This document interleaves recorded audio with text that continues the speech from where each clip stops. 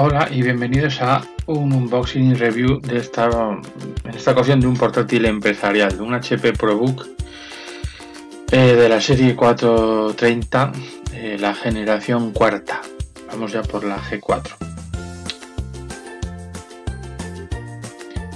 En este caso es un 13,3 pulgadas HD eh, normal con un Core i5 7200U eh, con 4 GB de RAM al que le vamos a añadir en, el segundo slot otros 4 GB lleva memoria DDR4 y trae 500 GB de disco mecánico que cambiaremos por un SSD lleva Windows 10 profesional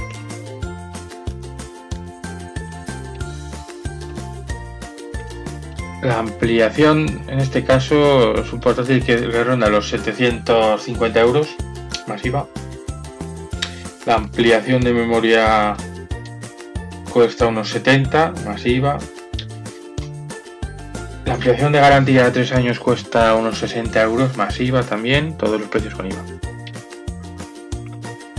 El SSD que vamos a meterle es un Samsung Evo 850 de unos 100 euros más impuestos.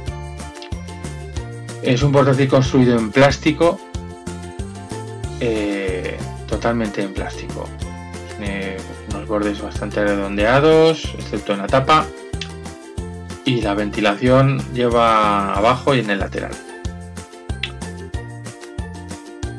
Podemos abrir con un dedo era de esperar porque la verdad es que tiene cierto peso. Lo indicaré en, la pantalla. El teclado es bastante sólido y el trackpad es estupendo. Es muy grande, los han hecho más grandes los trackpad en esta generación. Lleva un lector de huellas y el recorrido de las teclas es de unos entre un milímetro y medio y dos milímetros. Está muy bien, es muy sólido y no tiene ninguna flexibilidad en el interior. Ese aspecto se nota bien. Eh, los marcos son bastante grandes en pantalla. Aquí tenemos un USB tipo C en el lateral derecho, USB tipo 3, HDMI, VGA y Ethernet a 1000 megas. Y por último un LED de alimentación y el, jack de alimentación. A la izquierda tenemos la ranura de sujeción, Keylock, la ventilación USB, eh, audio, tanto micrófono como auricular y un lector de tarjetas. Esas ranuras son la ventilación del ventilador. El trackpad, como he dicho, es bastante grande y incorpora un lector de huellas que bueno, con Windows 10, eh, bueno, ha habido veces que no ha detectado ni que estoy pasando el dedo. La cámara frontal, que ahora mismo no recuerdo de cuántos megapíxeles es, y los dos micrófonos.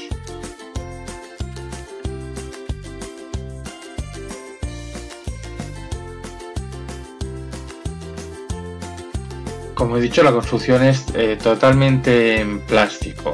Eh, es una pena y una vergüenza que a estas alturas que te traen portátiles chinos por ciento y pico euros metálicos, que las marcas europeas o occidentales no estén construyendo en metal, sobre todo cuando te estás dejando más de 800 euros en un equipo. Es de verdad una vergüenza esos marcos, esos marcos son marcos de hace 20 años. Son más gordos que el dedo gordo de mi pie. Igual, cualquier portátil chino te trae unos, marcos mucho más optimizados. Es que voy a, voy a compararlo con alguno, con un Chewy, para que se vea.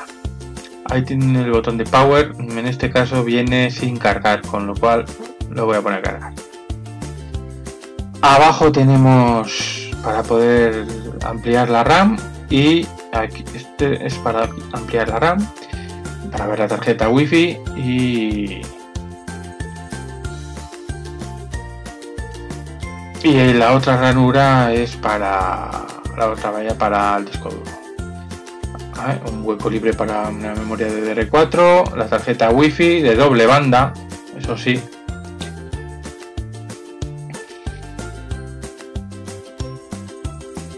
Aquí tenemos aquí la RAM que viene de DR4 eh, y abajo tenemos también es 4 módulo de 4 GB y aquí viene la ampliación de memoria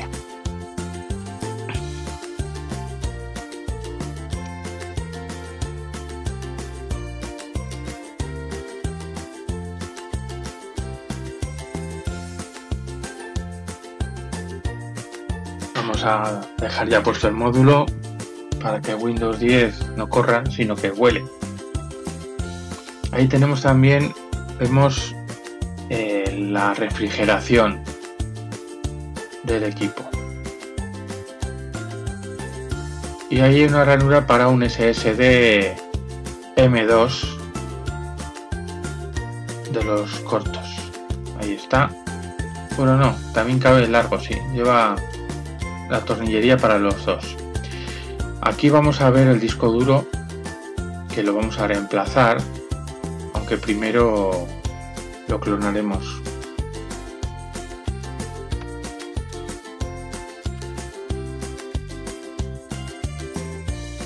SATA 3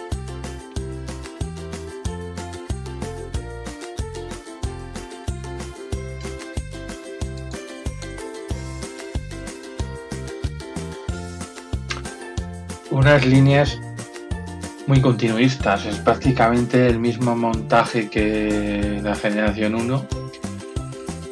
El panel es mate de una resolución HD. Otra cosa que no entiendo que a estas alturas sigamos teniendo HD en estas pantallas. Cuando cualquier teléfono Shinorri te lleva Full HD o 2K y los portátiles también. Entonces, que se mantenga esta tecnología de hace 20 años es una vergüenza. luego hablan de que está en declive la venta de portátiles. Normal, nos vendéis la misma tecnología que hace 20 años a precio de oro.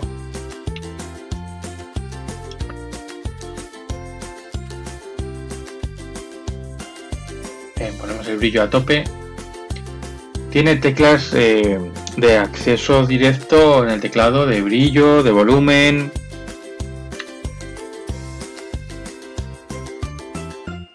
Para activar la salida VGA o HDMI o una segunda pantalla,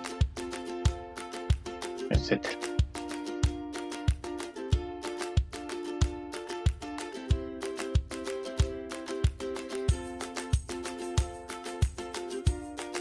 Aquí podemos ver la ridícula resolución 1366 x 768. Es la resolución que manejaba yo en un portátil hace exactamente 25 años.